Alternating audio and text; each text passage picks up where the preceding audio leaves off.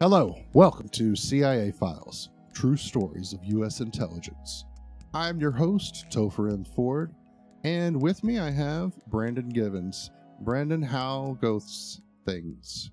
Ah, they're going pretty well. Yeah, I think uh, I think we got a good episode. People are going to get a. Well, I don't know if you'd call it closure, but kind of closure No, on this character. No.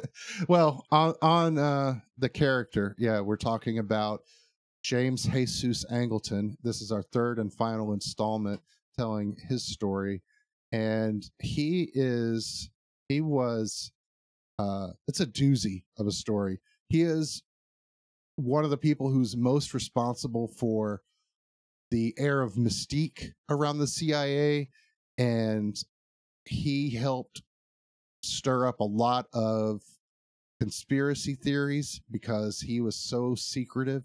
He had a sort of formed his own CIA within the CIA that he sort of ran his own little miniature CIA.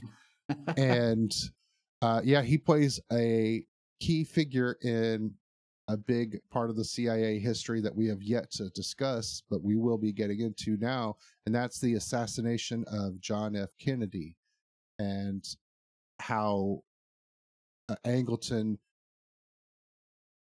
ended up like his actions ended up contributing greatly to the uh, mystique and the conspiracy theories that still surround that.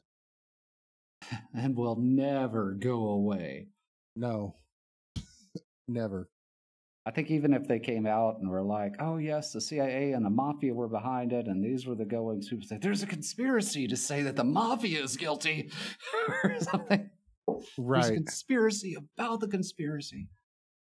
I I don't think anyone would ever unless like somebody came out with a videotape that showed Khrushchev and Fidel Castro and uh, like J. Edgar Hoover and the director of the CIA all sitting in a room together with Lee Harvey Oswald, uh, you know, with a big sign that said "Plans for us all to kill Kennedy." That's maybe the only thing that would, Well, and all of their parents, they're saying, "That's my boy. yeah. That's my boy right there." Oh, and Meyer Lansky and the mafia, they would have to be in the room also. Yeah, I mean, it sounds like the Kennedy assassination was pretty crowded. People can't keep that many people can't keep a secret. Come on. Yeah. Um. All right. Well, let's uh, get into it. This is part three of Jim Angleton. We are not professing to tell you the complete story of these activities. We are professing to tell you the complete story that we know. These records that we've uncovered don't tell the story. This is CIA Files. They tell pieces of it. True stories of U.S. intelligence.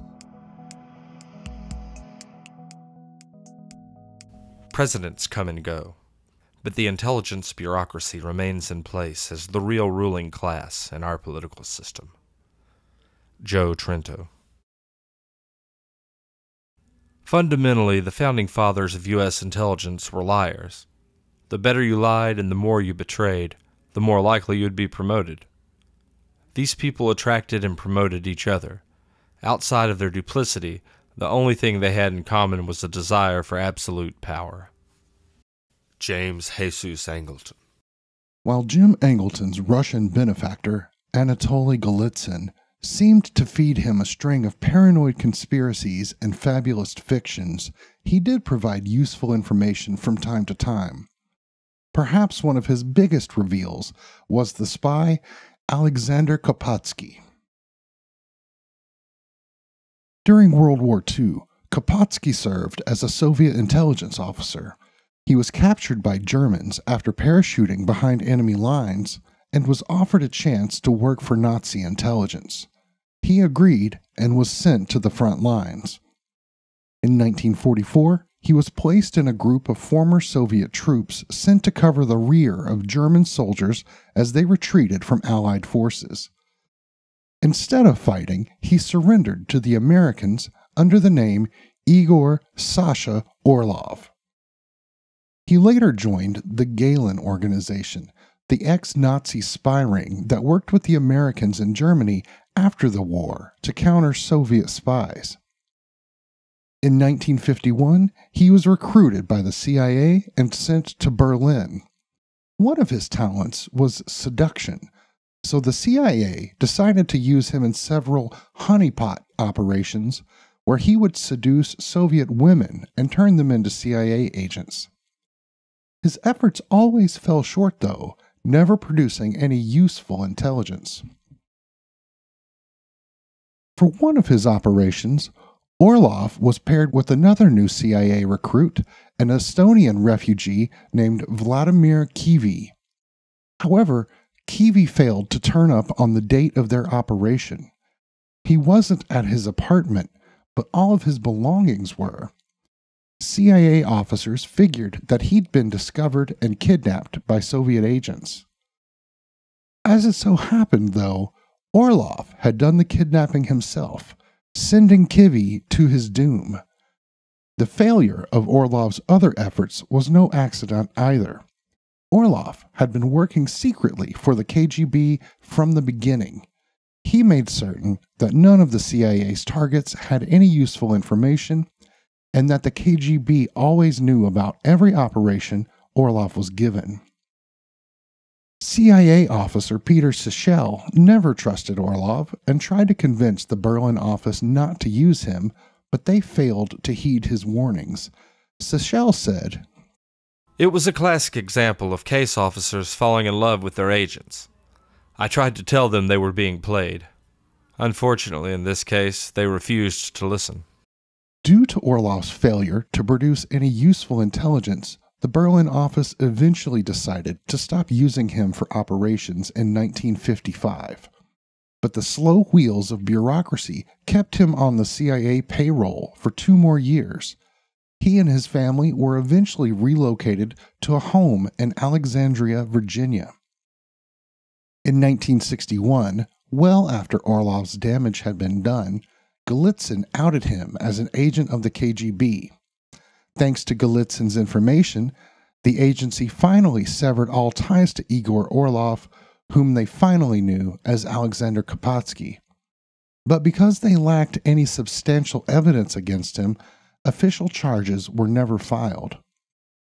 Kapatsky died a free man in 1982 the full extent of his deception only came to light in the 1990s when researchers were given access to files from the time when he'd worked for the CIA. Kapatsky spent the last years of his life living peacefully in Virginia, running a small art boutique with his wife. When his crimes finally came to light, well after his death, his widow began selling Soviet Cold War memorabilia.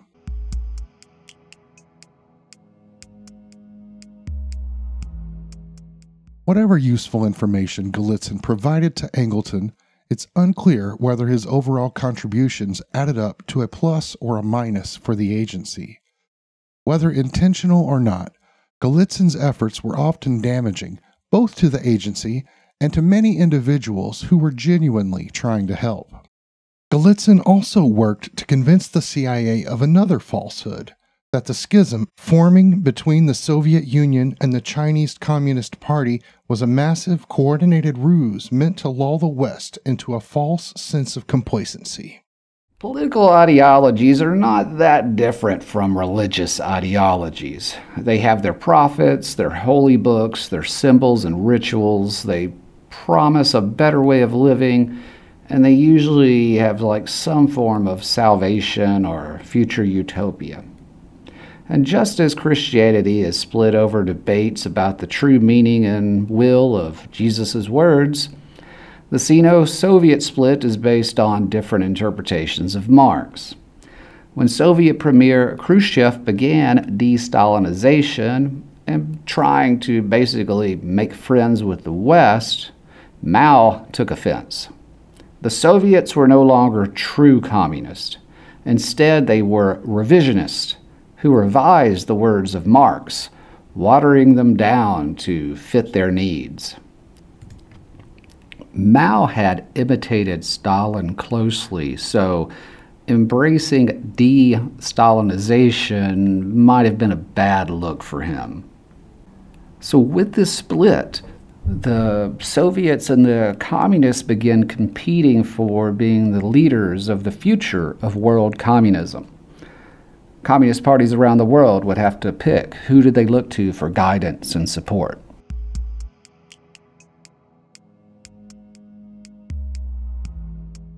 Golitsyn had convinced Angleton that any people trying to defect to the United States after him were Soviet spies looking to infiltrate the CIA.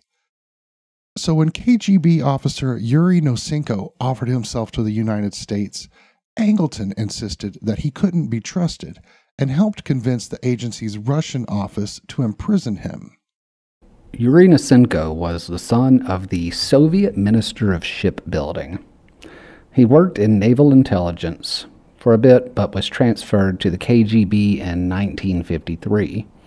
He was stationed in Geneva at the time of his defection. In 1962, he contacted the CIA in Geneva wanting to be a double agent. His story is he had been robbed by a prostitute and needed money. The CIA agreed to pay him for information. In 1964, at his meeting with the CIA, he made the claim that he had been discovered, so he needed to defect immediately. The CIA took him to the U.S. His story wasn't really believed. It was thought he might be a triple agent. He was basically imprisoned and interrogated for two years, eventually being believed, pensioned, and freed. In his reports to his handlers, he said that the KGB did investigate Oswald, but never recruited him. They thought him too stupid and a nut. Nosenko was kept in solitary confinement in a CIA black site for four years, being constantly interrogated the entire time. When he was finally released, his information did prove valuable. He went on to advise the CIA for decades. After Golitsyn's eventual release, he angrily confronted Angleton over the phone. Angleton deflected any responsibility for Nosenko's captivity, and soon after the call began, he ended it by saying, Look, I don't have any time for you on this. In 1960, Angleton, dealing with the stresses of his position, which were almost certainly worsened by his excessive drinking, suffered a mental break, and he was forced to take a leave of absence. By the time he returned, a new president was in office and a new operation was in the works, this time focused on neutralizing the relatively young communist government of Fidel Castro, who'd overthrown Cuba's U.S. backed dictator, Fulgencio Batista, in 1959. Castro had sent himself into exile to Mexico, where he organized a little guerrilla organization. They bought a ship called Granma and sailed to Cuba. Their leaky boat arrived late, missing an internal uprising that had happened. They fled to the mountains, but they started a guerrilla campaign against the Cuban dictator Batista's forces. Over time, they grew stronger. They received money and support from Cuban exiles who were enemies of Batista. At this point, it wasn't clear if Castro was a convinced communist, just that he was against the dictatorship of Batista, who had removed a democratically elected president. So, Castro received weapons paid for by Cuban exiles via Frank Sturgis and Samuel Cummings. The latter was a CIA um, arms expert. Sturgis trained the rebels in guerrilla war. Eventually, Batista loses popularity and the U.S. stops supporting him. The rebels march into Havana and a provisional government is declared. Castro was prime minister, but after disagreements with the president, he resigned. Pro Castro protesters demanded the provisional president resign, which he did.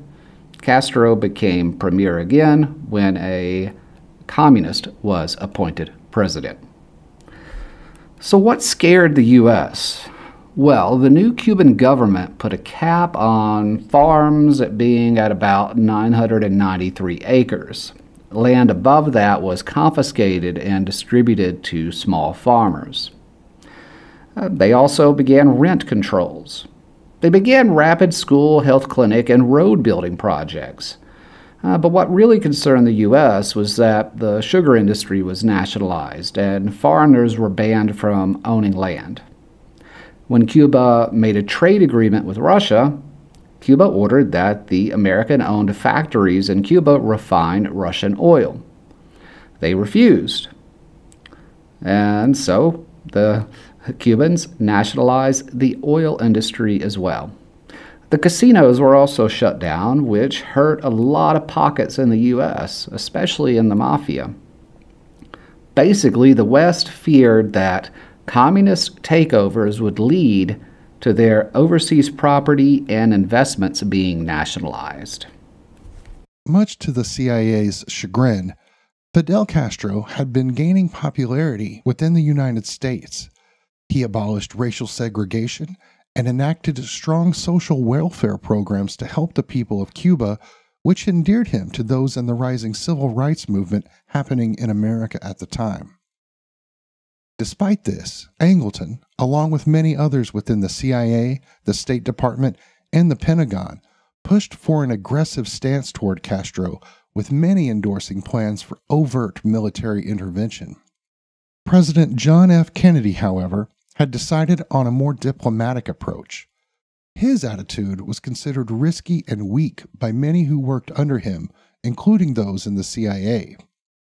JFK's experience with the generals was not positive. He started out thinking that they had some kind of special knowledge and experience, you know, being career military men and all, but he found over time that their advice seemed rather worthless. He also found that they seemed fond of the idea of using nuclear weapons, believing the, that you know, he found that these generals believed that the civilian population had an irrational fear of them. One general even told him, if we fight, and in the end there are only two Americans and one Russian, then we've won. So it seems anything less than bomb the enemy into submission was seen as weakness. This is a, not an attitude that impressed or inspired Kennedy. And he's known to have said to an aide, These brass hats have one great advantage. If we do what they want us to do, none of us will be alive later to tell them that they were wrong. Kennedy managed to work out a deal with Khrushchev. The Russians would remove their missiles in Cuba, and the U.S. would remove their missiles in Turkey and Italy. Kennedy thought his diplomacy might be for naught. He expressed to Khrushchev fear that the military might remove him. The military seemed to see this compromise as a show of weakness. Kennedy and Khrushchev do go on to try to work out um, more nuclear disarmament and you know the reduction of the number of missiles out there. While Kennedy's diplomatic approach averted nuclear disaster, his military leaders felt the U.S. came out on the worse end of the deal. They believed that Kennedy missed an opportunity to expel Castro and the communist government from Cuba altogether. Angleton shared this view. When he returned to his office in 1961, he found his colleagues in the midst of planning a covert operation to train Cuban rebels and send them to Cuba to spark a popular uprising that would ultimately unseat Castro and destroy the communist government. Angleton's counterintelligence group insisted that this endeavor would be welcomed by the Cuban people and that Fidel's military forces would be easily defeated. Thanks to this deduction, the event known as the Bay of Pigs would end up being just one of many times that the U.S. government grossly underestimated Castro, as well as one of many of Angleton's failures in counterintelligence. President Kennedy was hesitant to approve this operation, but he gave it the green light, being assured that neither U.S. troops nor U.S. air support would have to get involved. Kennedy was all about getting rid of Castro as long as it didn't um, involve U.S. troops, well, especially in a way that you know it could get pinned on the U.S. The CIA and the Joint Chiefs tried to sell him on direct invasion, um, but said it would be possible to remove Castro by arming dissident Cuban exiles and allowing them to stage their own invasion. Now, the, later on, we find the CIA didn't really believe that story, but that's the one they sold Kennedy on. It should be noted that the Joint Chiefs told Kennedy it would be super embarrassing if they did fail, and that they'd likely have to send troops or else lose face. Perhaps they thought that might scare him out of the plan and he would just opt for a direct U.S. led invasion. Well, the Bay of Pigs invasion ended worse than could be imagined. The beach had coral reefs that sank some of the exiles' ships. Their paratroopers landed in the wrong place. They ended up pinned down on the beach and surrendered within 24 hours. Uh, four Alabama pilots who the CIA had recruited, they died as well. This whole incident fueled Kennedy's distrust of his military advisors. Uh, he said, The first advice I'm going to give my successor is to watch the generals and to avoid feeling that just because they were military men, their opinions on military matters were worth a damn. Ah, there's some stuff going on in the news now that might make a Mm-hmm. make a president doubt the trustworthiness of his military advisors. Angleton, not one to willingly accept accountability for failure, blamed the fiasco on Cuban spies penetrating operations in South Florida. Once again, he manufactured confirmation of his suspicions that a Soviet mole was wreaking havoc on the CIA's plans.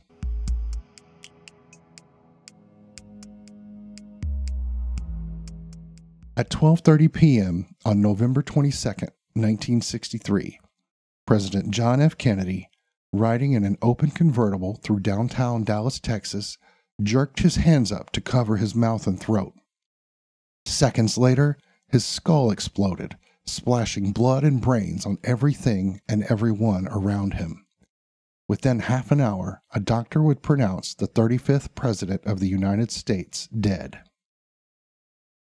Reactions from around the country were strong but mixed. While many were horrified by the sudden violent death of President Kennedy, some Americans celebrated his death openly. In an interview with 10 TV WBNS, one man who was in school when he heard the news described what he heard down the hall. Douglas Gray was a sophomore at Murrah High School. He was taking a test when the announcement came that someone had fired on Kennedy's motorcade. His teacher ordered the class to be silent. But from other rooms, this is what he heard cheering and whooping and hollering, applause, and people were clearly ecstatic. The next period in music class, students learned that Kennedy had died. That teacher ordered everyone to stand and sing Dixie. Kennedy was a proponent of integration and considered by many to be soft on communism. Those cheering, literally cheering, his death were groups in line with segregationists and outfits like the John Birch Society. Malcolm X commented that the assassination was an example of chickens coming home to roost, a thing that usually made him glad. As a general rule, though, his assassination was viewed with sorrow, horror, and a renewed sense of reconciliation on the right and left. This event would affect just about every American alive at the time, as well as millions of people around the world. And it would prove to be quite inconvenient for Jim Angleton. Lee Harvey Oswald, a relatively unknown figure to most people, had just been accused of shooting the president. And while most people might not have known who he was before November of 1963, Angleton was quite familiar with him. This fact, which wasn't known to many people, even within the CIA, had the potential to ruin Angleton's career in the agency. If it was known that he'd been keeping close tabs on a known communist sympathizer who successfully assassinated the President of the United States, he'd likely be cast out of the agency he'd helped build and his prospects for employment elsewhere would probably become fairly limited. But Angleton didn't become chief spycatcher through sheer luck. He'd gotten there through shrewd cunning and cold manipulation, and so he put those talents to work immediately to cover his own reputation and to direct attention away from himself. Theories about who was behind Kennedy's assassination began spreading immediately. The first theory was that Fidel Castro was behind it. Castro, however, was quick to deny any involvement in Kennedy's death. He rightly assumed that his enemies in the United States would eagerly use this as an excuse to intensify their efforts to usurp him, whether they actually believed it or not. Castro said in a speech immediately after the assassination We foresaw that from these incidents there could be a new trap, an ambush, a Machiavellian plot against our country. That on the very blood of their assassinated president there might be unscrupulous people who would begin to work out immediately an aggressive policy against Cuba. If the aggressive policy had not been linked beforehand to the assassination, because it might or might not have been. But there is no doubt that this policy is being built on the still warm blood and unburied body of their tragically assassinated president. In the days that followed Kennedy's murder, Angleton began providing information that he had on Oswald to the Secret Service. But most, if not all, of this information was already available in Oswald's 201 file. Angleton managed to keep a significant portion of what he'd known about Oswald away from investigators. A CIA officer named John Whitten was assigned to compile all of the information he could find on Oswald within the CIA's files. He naively assumed Angleton would want to help in this effort. Instead, Angleton did what he could to stonewall Whitten. Years later, Whitten said in a secret session In the early stage, Mr. Angleton was not able to influence the course of the investigation. He was extremely embittered that I was entrusted with the investigation and he wasn't. Whitten and Angleton spoke with CIA Director Dick Helms. Whitten later said that Angleton ruthlessly criticized his report without pointing to any specific faults, but rather reiterated that the report had too many errors to be taken seriously. Helms decided to trust Angleton and put him in charge of the CIA's investigation. Now, Angleton was in the perfect position to protect himself and the agency, which is exactly what Helms wanted. From the start, Angleton's primary goal was to ensure that the full extent of his knowledge on Oswald's activities and sentiments went undisclosed, as the CIA was called to report to the Warren Commission. Nicholas Katzenbach was LBJ's Attorney General. He's the one that suggested a congressional investigation of the Kennedy assassination. He thought the public needed to see an unbiased and open investigation, one that would be made public. He wanted to combat speculation and conspiracy. Some didn't really want the investigation to occur. They figured it would create more controversy than it would solve. LBJ took his advice, though, and assigned Chief Justice Earl Warren to lead the investigative commission. One glaring omission from Angleton's testimony to the Warren Commission was the CIA's efforts to assassinate Castro. Angleton was well aware of the CIA asset Rolando Cubela, also known as Amlash. Ronaldo Cubela was a founder of a revolutionary student group in Cuba. They opposed Bautista and made common cause with Castro. After the revolution, after the success of the revolution, Cubela was made deputy secretary in the Ministry of Government. He worked on reconciling the different revolutionary factions, but he became disenchanted. Cubela concluded that Castro had betrayed the revolution by becoming a communist dictator. Cubela came into contact with an old friend, Carlos Tepedino, who worked for the CIA. Cubela became an asset in plots to assassinate Castro. In one episode, he was given a poison pen. The CIA cut ties with him in 1965, believing him to be too risky an asset. It appears he was discovered by Castro soon after. He was tried, spared the death penalty and sentenced to 25 years. Castro pardoned him after 13 and he relocated to Spain. Castro almost certainly knew of the CIA's intention to kill him at the time. This fact would have pinned a strong motive to the Cuban president self defense. But Angleton, with the help of J. Edgar Hoover, likely in an attempt to cover up his own knowledge of Oswald's activities, steered the Warren Commission's attention away from Castro and directed focus toward the KGB, despite the fact that there was little to no evidence that the Kremlin was involved in Kennedy's assassination. Whether or not Fidel Castro played any part in Kennedy's death, Angleton's intentional omission of AMLASH and other CIA attempts to neutralize Castro constitutes obstruction of justice. Despite this, or perhaps because of it, Angleton not only avoided scrutiny, but strengthened his role within the CIA, which he would maintain for another decade.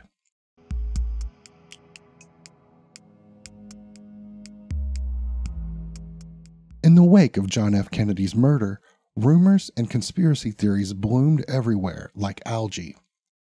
Angleton himself was the source of many of these shadowy suggestions, either through propaganda or through his efforts to cover up his own failings.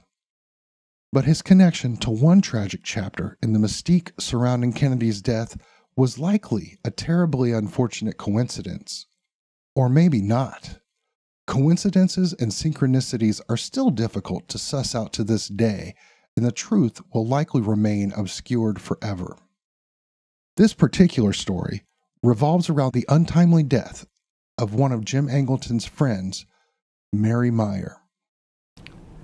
Mary Meyer was an acid dropping, pot smoking painter housewife married to a CIA agent.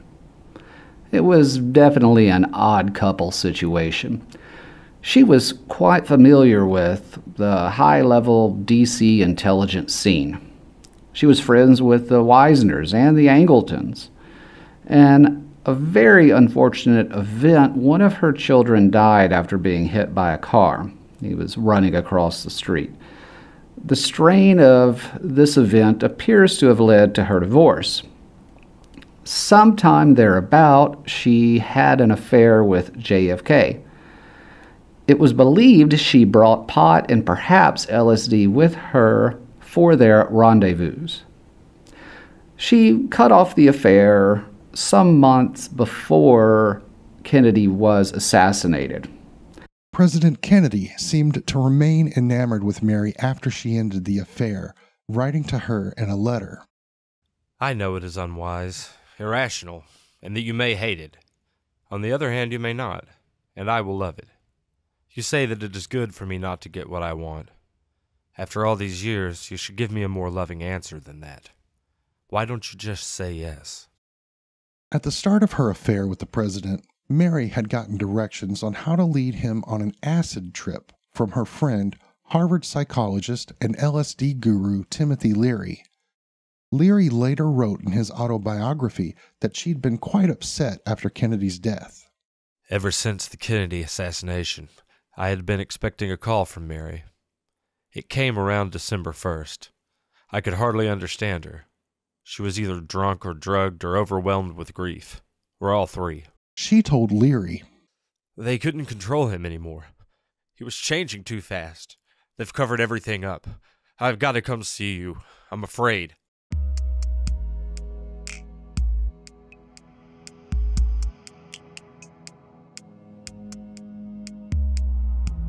On the afternoon of October 12th, 1964, Jim's wife, Cicely, was at home listening to the radio when she heard a police report. It stated that a woman had been killed on the C&O Canal towpath in Georgetown. Cicely immediately became worried and called Jim. Cicely and Jim were close friends with Mary Meyer, and Cicely knew that she went on regular walks down that exact path. Jim assured his wife that the victim almost certainly wasn't Mary and reminded her that the three of them had plans later that day to attend a literary event.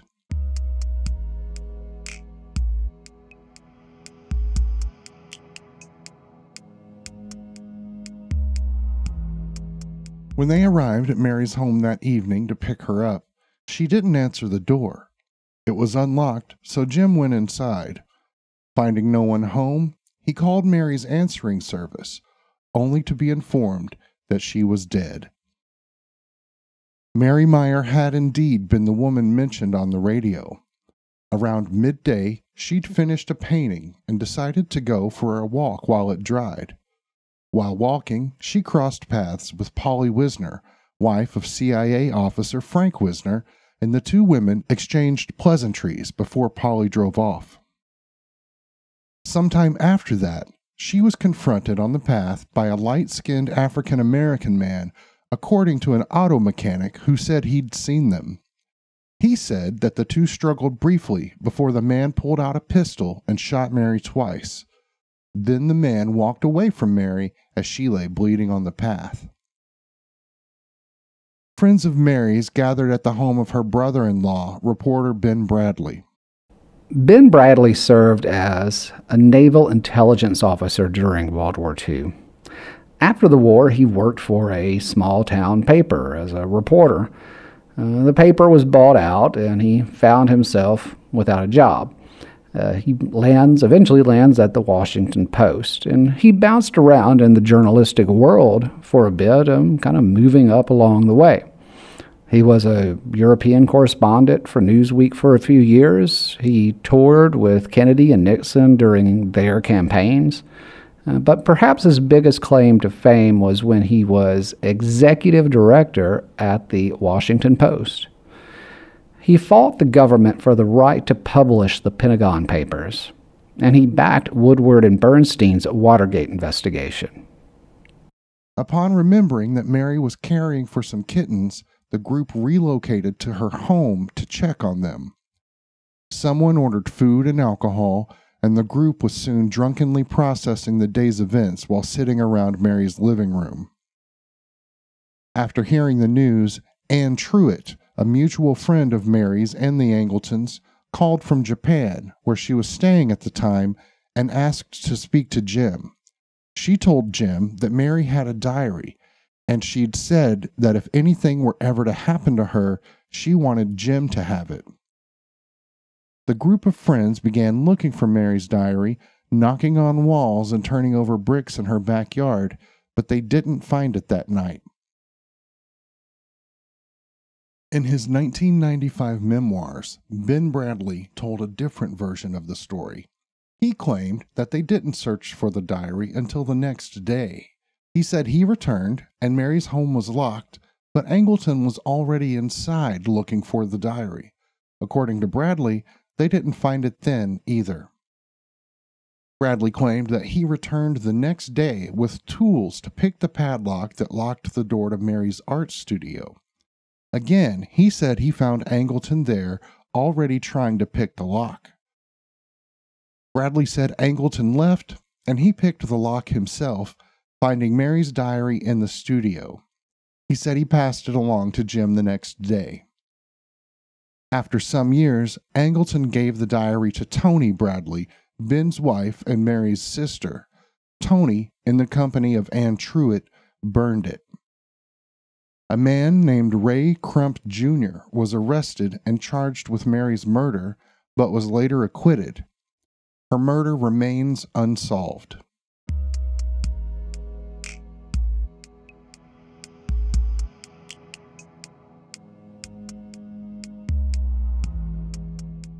While Angleton could be considered, for better or for worse, a dedicated American patriot, not all of his decisions were made with the best interests of the United States in mind.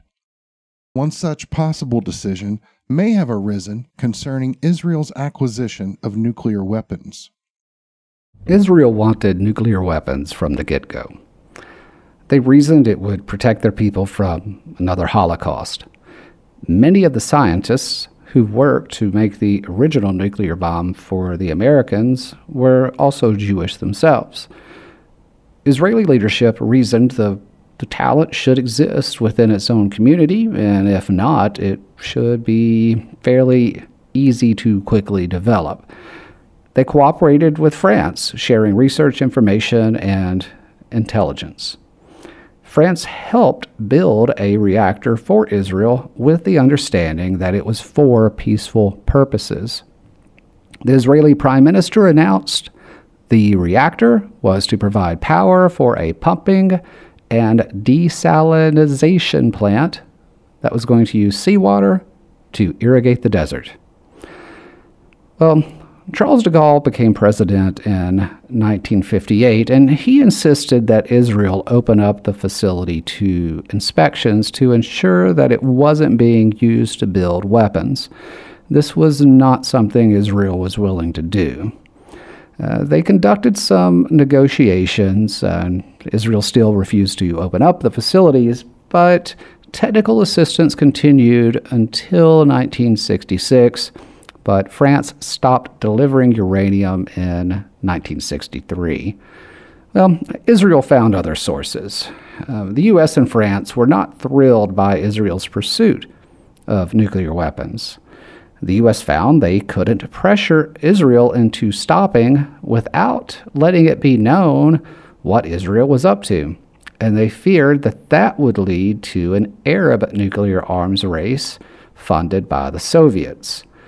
So the U.S. opted for a policy of ambiguity, kind of a don't ask, don't tell with regard to Israel's nuclear ambitions and capabilities. NUMEC, the Nuclear Materials and Equipment Corps, produced and distributed uranium 235, the material used in nuclear power plants. It's also the material needed to develop and build nuclear weapons. NUMEC would supply some friendly nations, including Israel, with uranium 235 to use in nuclear power plants. However, in 1966, the Atomic Energy Commission concluded that around 200 kilograms of the material was unaccounted for. After an investigation, half of that amount couldn't be traced to anywhere. It had simply disappeared. CIA scientists were certain that Israel was in possession of this missing nuclear material. However, the CIA failed to cooperate with the Department of Energy and Nuclear Regulatory Commission in following up on this suspicion. Since then, it is widely believed that Israel possesses up to 400 nuclear weapons in its stockpile, although they've never confirmed nor denied this.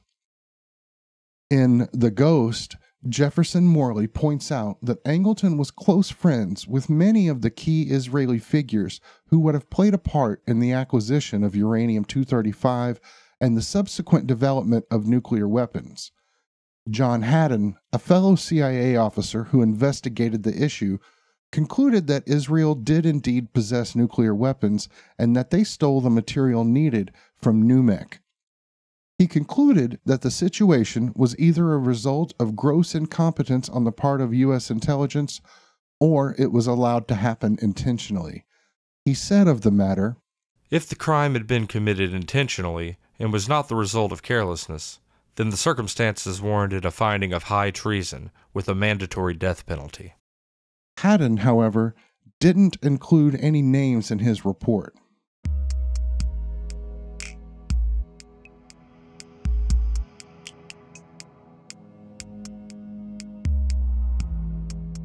In 1969, Richard Nixon became President of the United States, bringing with him a moral and legal philosophy distressingly similar to Jim Angleton's.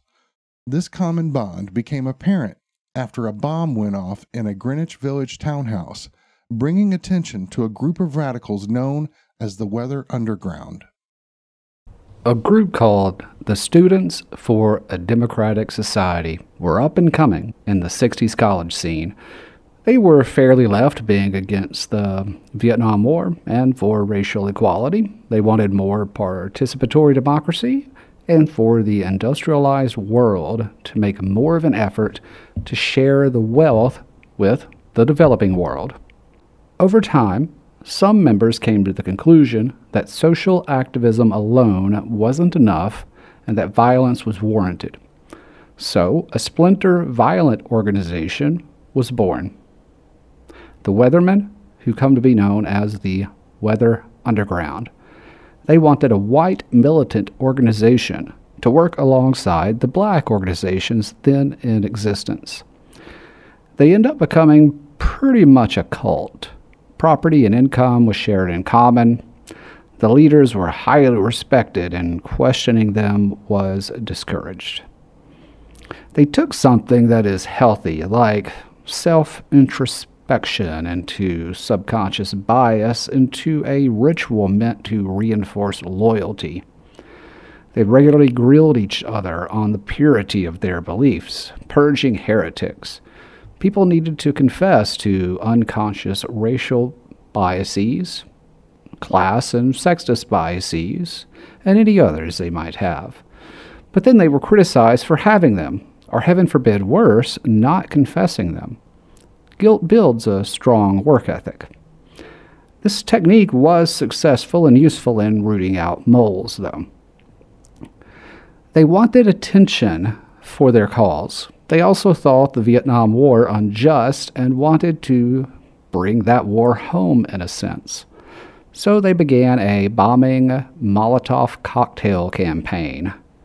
In 1969, they bombed a monument to the police and inspired a riot in Chicago, which cost over $100,000 in expenses and damages.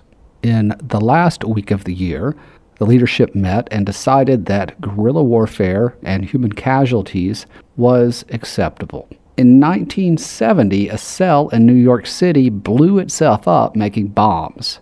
They had planned to attack a military dance. After that, the leadership decided that human casualties really should be off the table. From then on, they would bomb empty offices and give warnings to people so they could clear out beforehand. Some surviving members went on to argue that they shouldn't be considered terrorists and that they didn't target people. They targeted property and would issue warnings to locations so they could clear out before the bombs went off. However, some Weather Underground members appear to have worked with the Black Liberation Army in their bombing of a San Francisco police station that left one officer dead. After two Black Panther members were killed uh, in a police raid, they declared war against the U.S. government.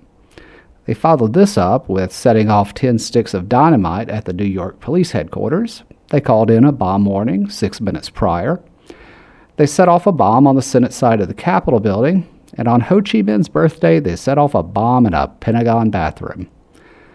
Um, perhaps my favorite antic, um, they accepted $10,000 to successfully assist LSD promoting professor Timothy Leary break out of jail and escape to Algeria.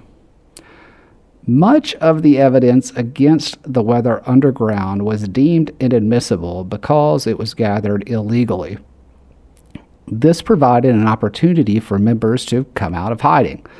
The group split between those wanting to stay small and underground and those who wanted to come out of hiding and build an open mass movement, not based on using violence for attention, though accepting of violence as being perhaps necessary in the future.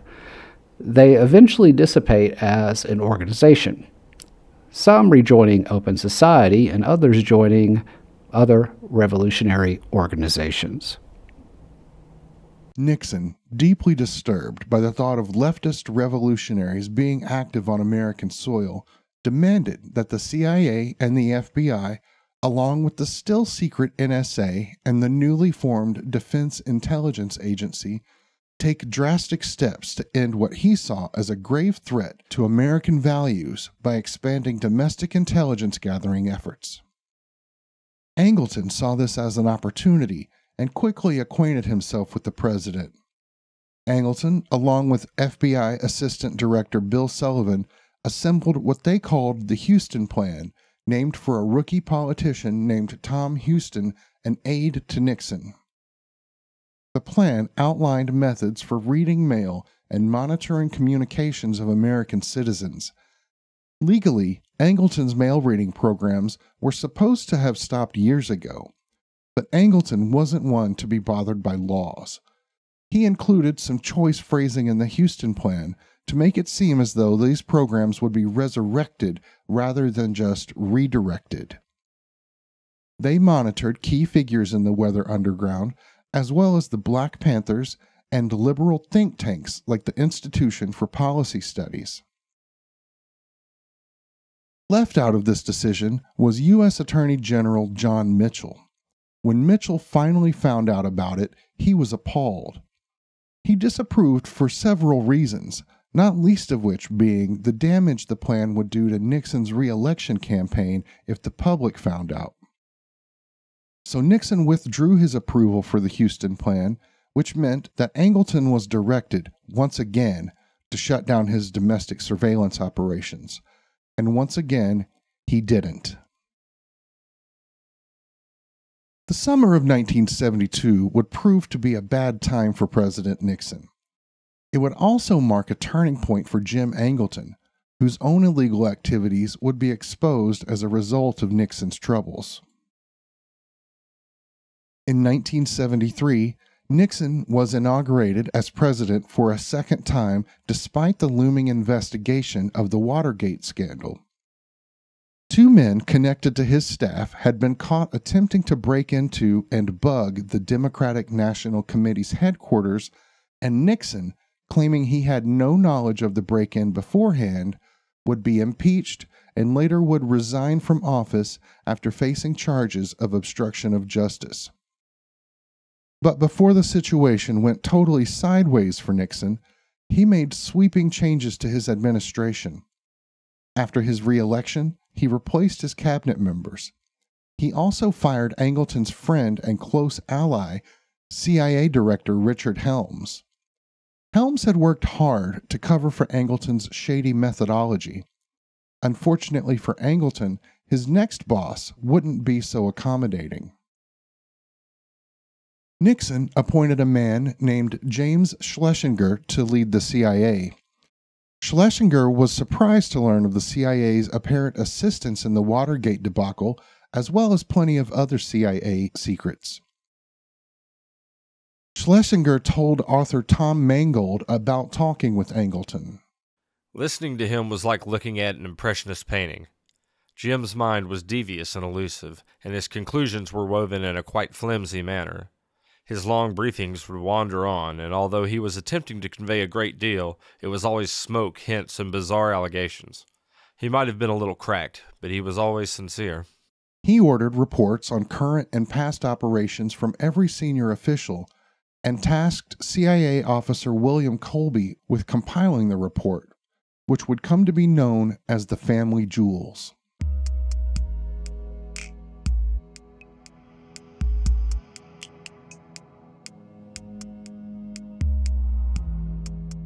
Angleton and Colby were not friendly.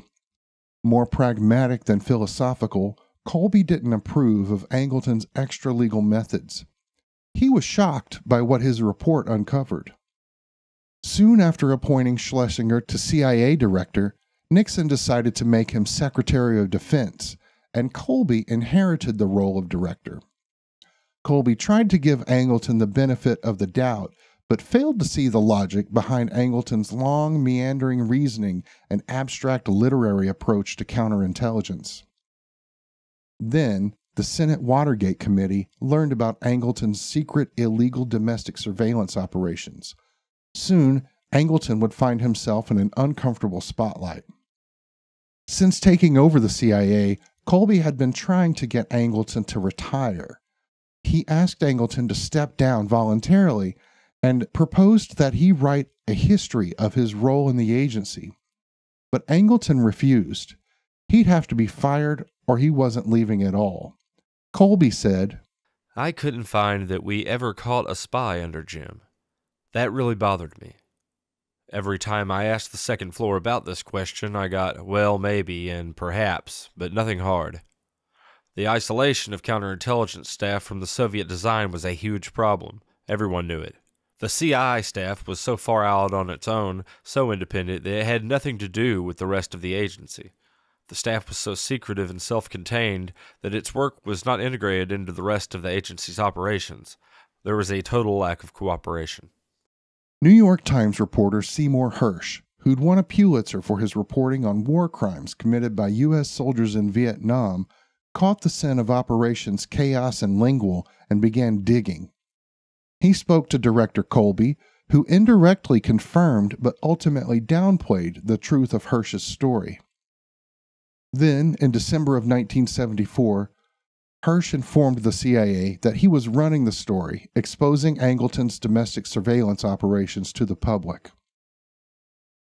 Colby summoned Angleton to his office, where he told the counterintelligence leader the bad news. Colby informed Angleton that this was his last chance to retire before he'd have to be fired. Angleton left Colby's office in a desolate mood. He went to a payphone and called Hersh. Hersh said of the conversation, He told me he had other stories which were much better.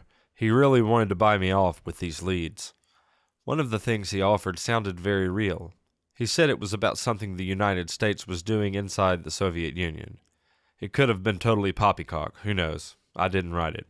Even if Colby hadn't been trying to get rid of Angleton before, he had no choice but to fire Angleton after the story ran. Colby appointed another man George T. Kalaris to Angleton's post and charged him with digging through Angleton's massive secret archives. Angleton said to Kalaris, It's nothing personal. It's just that you are caught up in the middle of a big battle between Colby and me. I feel sorry for you. I studied your personal records, and, I repeat, you are going to be crushed.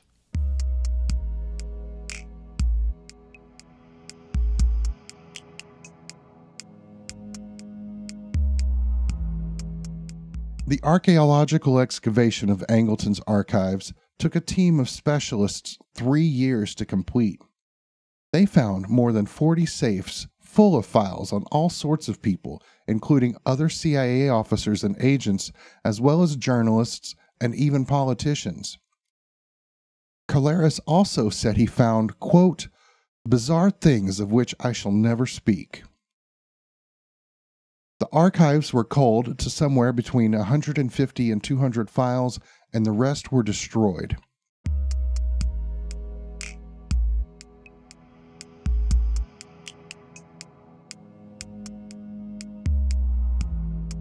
Given that Angleton was an intensely secret man, public attention hardly seemed like something he ever wished for. Seymour Hersh's article had brought Angleton plenty of attention, but after his expulsion from the CIA, Angleton found himself under an even harsher spotlight during the United States Senate Select Committee to study government operations with respect to intelligence activities, informally known as the Church Committee. Frank Church was a World War II veteran, and during the war, he had been in military intelligence. His most consistent theme in office appears to be supporting honesty and integrity in government. He wasn't afraid to vote against his party. He believed in the philosophy right or wrong, you love your country. And this is how you show it. When it's right, you celebrate that. When it's wrong, you bring it back to right.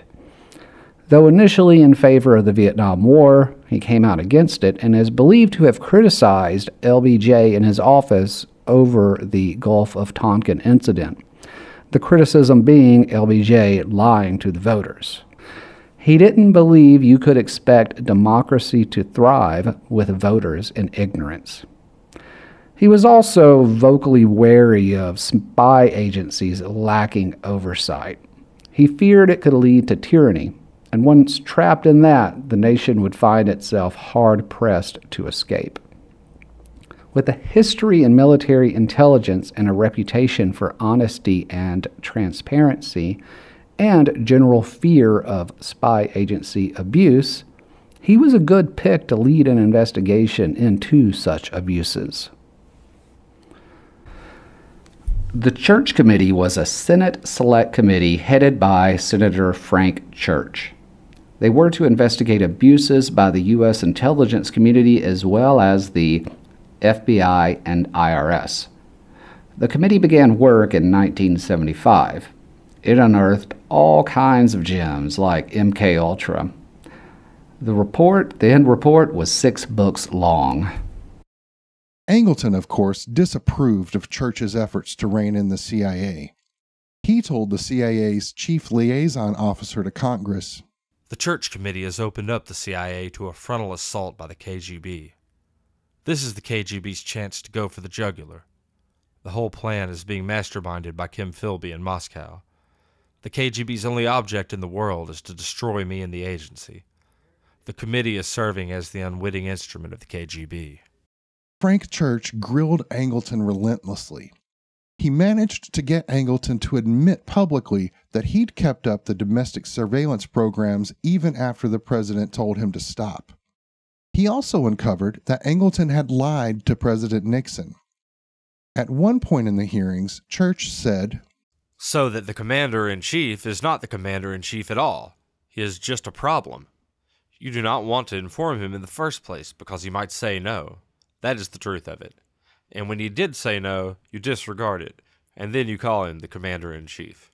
In 1977, despite everything that had been uncovered, the church committee announced that no charges would be brought against Angleton, setting a dangerous precedent that would pave the way for even greater surveillance programs in the future. An attorney from the committee said, Prosecution of the potential defendants would be unlikely to succeed because of the unavailability of important evidence, and because of the state of the law that prevailed during the course of the mail opening program. Jefferson Morley wrote in Ghost The Justice Department's decision not to indict Angleton set a precedent and sent a message that the secret intelligence arm of the government could reserve the right to review, without warrant or stated cause, the private communications of Americans in the name of national security. On April 25, 1975, Jim Angleton was awarded the Distinguished Intelligence Award for performance of outstanding service or for achievement of a distinctly exceptional nature in a duty or responsibility, the results of which constitute a major contribution to the mission of the agency. Although officially fired, Angleton remained on the CIA payroll for an unknown period of time afterward, seemingly at his full salary.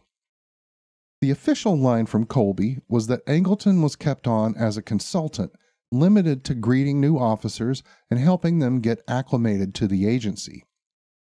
But official documents obtained by Muckrock in 2017 seem to indicate that Angleton was still handling operations for years after being fired.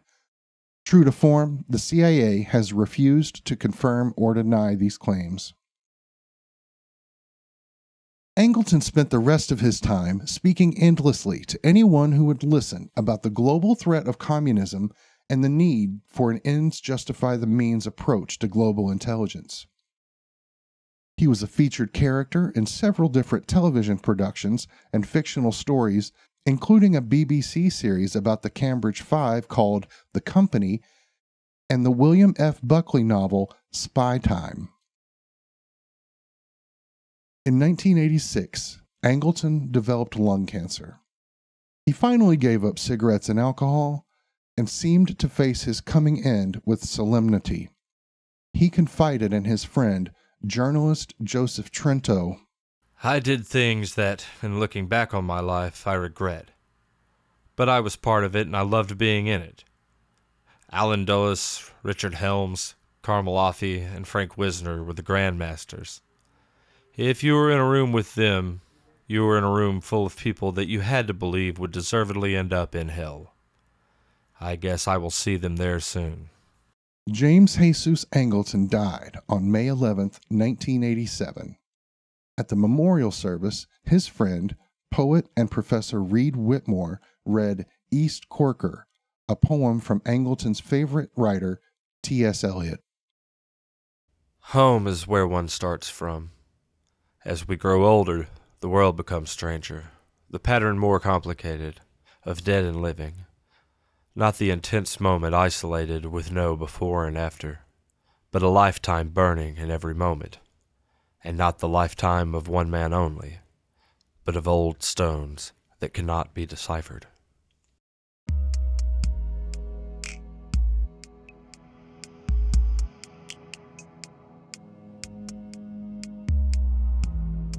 Okay. that concludes that story. Brandon, what what did you think? It's a very interesting story, as always. Uh, uh, the, this story's got all kind of weird characters, and that that um, the murder of the lady is incredibly bizarre too, and just Mary like, Meyer. yeah, and so how what was it? Wiz, what, Wisner's uh, wife or something like, "Hey, how you doing?" And then Yeah. dead. A few Frank Wisner's later. Yeah. wife drives by and says, like, sees Mary Meyer on the, you know, on her walk and says, "Hi, how are you doing?" And they talk for a minute, and then like minutes later, Mary Meyer is shot to death in broad daylight. and they tried to blame it on a person of a dark persuasion, which is is incredibly convenient. Yeah, I, that's another story that just.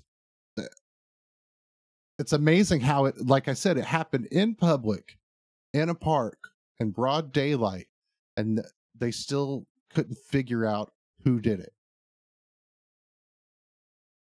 And uh, also, uh, uh, it seemed like Kennedy um, really liked her, but at the same time, Kennedy really liked a lot of people. So I'm curious if she really was the one for him. You know, I don't think so. The, the weed and the weed and acid. Yeah, it was it, it was the weed and acid talking. yeah, yeah. Uh, from what I understand, Kennedy, uh, JFK was, you know, renowned as a ladies' man, but uh, he was not known a for positive his. way of putting it. Yeah. Yeah, he was not known for his endurance. Uh, uh, he was. The people around him called uh, his escapades his little aspirin, um, because he would, you know, maybe thirty seconds. That's all I'm saying. He just need it was just like a real quick thing every time. That's off track. That's way off track. But yeah, that's what gets me is the amount of conspiracy theories that blossomed because of Jim Angleton's cover my ass mentality. well, you always leave a footprint. Yeah. And then going back to cover your tracks often leaves more tracks, Yeah. just a different time.